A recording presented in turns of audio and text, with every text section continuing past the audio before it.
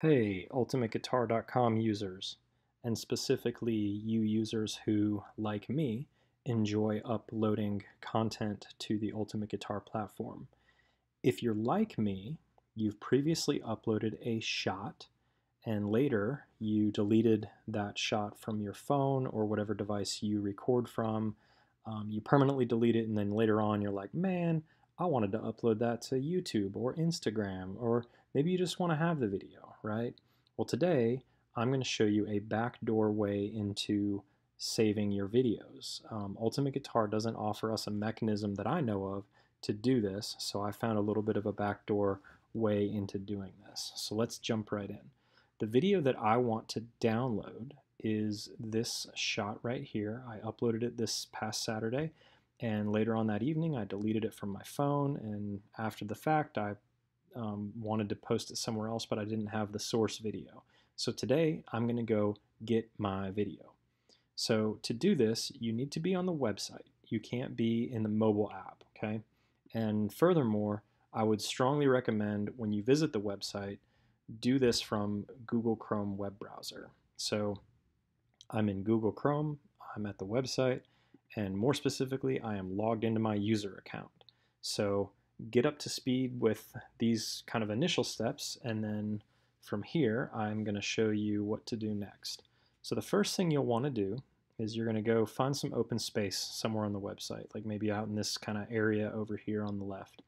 Right click, that's going to pop open a, a little menu, a little tooltip menu, and you're going to find an option in here. You should see an option that says inspect click that, what that does is it opens up your web Chrome's Google Chrome's web developer tools. Okay.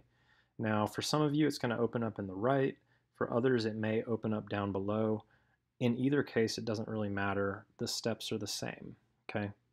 So when it opens up, you're going to see a few options here. You're going to see elements, console, sources, and network.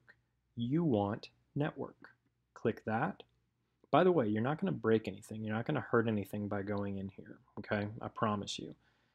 Go to network, and then on the next, if you look down here, you're going to see a, a list of items here, okay? You're going to want to be filtered on media. You might start out, the first time you open this, it might start out as all. Well, instead of being all, it's easier if you go to media. Um, and then even furthermore, you might see a long list of, of things down here below listed out. If you do, let's just clear out that log. Okay, again, you're not hurting anything. On the left here, you're going to see an option to clear. Click that, and that will make that should make your view look like mine. Your your tools are open. Um, you have network, you have media, and you have an empty log. Now, let's go to the video that you would like to download in my case of this one, I'm going to click it. That video is going to start up. Okay, now a few things happened here. My web browser said, hey, he clicked this thing, I'm going to go get the video. So that's this top option here, video.mp4 and then a bunch of gibberish, okay? Don't worry about what any of this means. All you need to know is that this is a link to the source content of the video. So on that link, you're going to right click it. Again, it's another right click, and then find an option that says open in a new tab. Click that. Let's go. Hey, my video again, but this time I'm looking at the source video. So from here, it's just another right click anywhere in the video frame. Right click, save as. Okay, your should say save as or save video as save that. I'm going to save it to my downloads. There we go. If I go to my downloads folder, you're actually going to see it twice because I um, I downloaded it twice preparing for this video. But what I just downloaded was this one with the little one in parentheses. It just means it's a copy of what I already downloaded. So let's, from there, I just download, this is what I just downloaded. Downloaded today, just now. 5:29 p.m. Eastern Standard Time. Double click that. There's my video. I'm looking real serious. Play. my video works, and I'm good. So I'm going to stop it, close this out, close my documents, my downloads. Um, this additional tab that you opened up, you can just simply close it.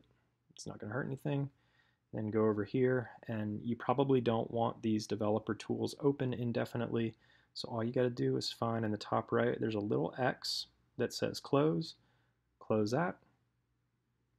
And then you are back back to normal in your web browser and you are now the proud owner of your video.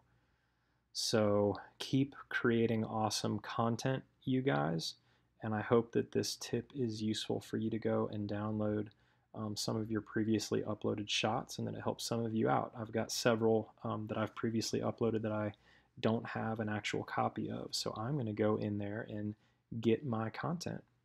So that's it. Have a great day.